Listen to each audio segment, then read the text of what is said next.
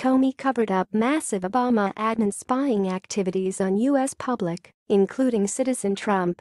As reported in prior posts, a massive amount of data on 47 hard drives obtained from a government whistleblower was turned over to Freedom Watch recently.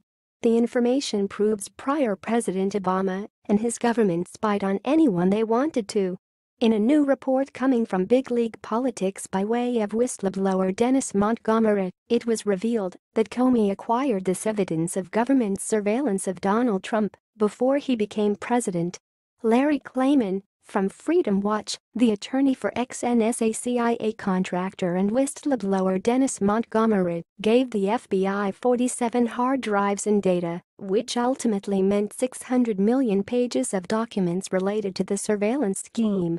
At the time, Comey was FBI director and his general counsel, James Baker, took the data and despite now being in possession of this bombshell revelation, the FBI under Comey did absolutely nothing to act on the information or publicize it.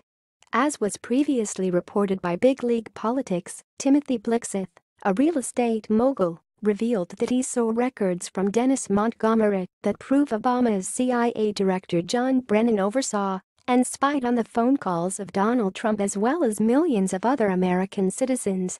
The audio tape, which was released as part of a civil case, can be found below. Big League Politics reports in the audio taped interview conducted before Trump ever ran for president, Blixseth spoke to former Maricopa County Sheriff Joe Arpaio and Detective Mike Zullo.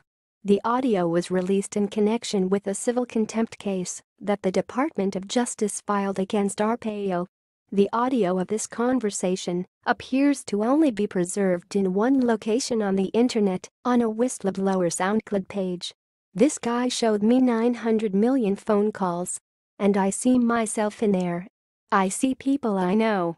I see Donald Trump in there a zillion times, and Bloomberg is in there, Blixseth said on the tape, referring to information that Montgomery allegedly showed him the story then gets a bit more finite with a second audio tape being revealed, Dennis Montgomery told Zullo in a separate interview, also preserved and released on audio tape, that he gained entry to a Lockheed Martin facility in Los Angeles to work on the surveillance program on a supercomputer contained at the facility.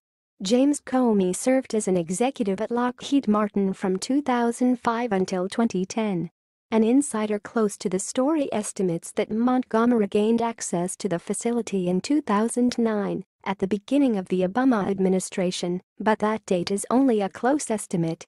Klayman has now called on the House Intelligence Committee Chairman Representative Devin Nunes to hear Montgomery's testimony. Listen to the audio tape below. Thanks for watching. Please subscribe 24 Hours channel. Goodbye and see you again.